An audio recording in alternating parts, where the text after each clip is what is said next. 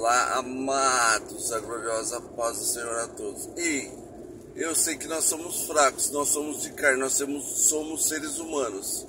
E por mais que nós digamos assim, eu confio plenamente no meu Deus, eu não tenho medo de nada, eu não temo nada, eu quero ver o agir de Deus na minha vida, eu confio muito em Deus. Ainda assim nós desconfiamos do Todo-Poderoso. Fala sim ou não.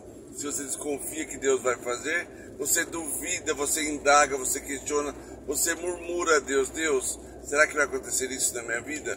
Por mais que eu já tinha falado, mas no caso você quer ver o agir de Deus. Tem hora que somos Timóteo, né? Temos que ver para crer, mas no caso, vamos pensar em algo. Nós somos de carne, mas Deus é espírito.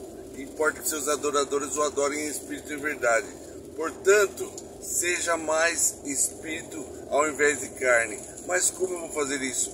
Não, não, como eu vou falar-lhes? Não realize as obras da carne, realize mais as obras do Espírito. Alimente mais o Espírito, pois nós sabemos que a palavra de Deus diz também que há uma briga entre a carne e o Espírito, mas o que é mais alimentado, esse é mais vivificado. Então, portanto, alimente mais o Espírito, não alimente tanto a carne e viva o que Deus quer para a tua vida. Confie, creia e não tenha medo de nada. Eu estou falando assim, mas no caso eu tenho, não digo minhas dúvidas, mas tenho os meus momentos de fraqueza, né?